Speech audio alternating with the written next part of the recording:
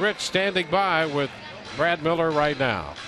Thank you, Dewayne. Well, obviously, it doesn't matter what position you play or if you're not playing in the field because you're still hitting home runs at an unbelievable clip. What has it been about this offense the last three games, really? 35 runs scored. Yeah, I, I think we're swinging it really well. Um, you know, a lot of people, like you saw tonight, up and down. Uh, you know, even our outs tonight, a lot of them were hard hit and they made some nice plays. But uh, it's a lot of fun. I think everybody's feeding off each other.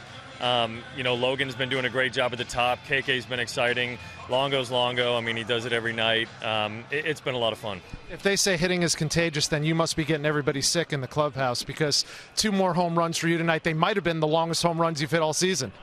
They felt good. You know, I, I felt like uh, you know I had some had some tough at bats early, so uh, I'm glad I I'm glad I was able to make an adjustment and uh, get some balls. But man, we, we hit the ball really well tonight, all the way uh, top to bottom obviously when you're hitting to the deepest part of the park, which you did both of those home runs, you're seeing the ball really well. What else has been working for you? Really, since the All-Star break, you're hitting well over 300.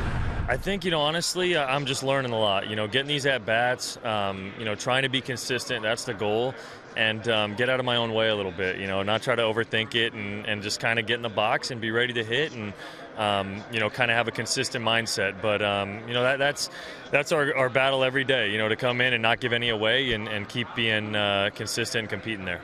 Brad Miller, second time in four games with multiple home runs. Guys, back up to you.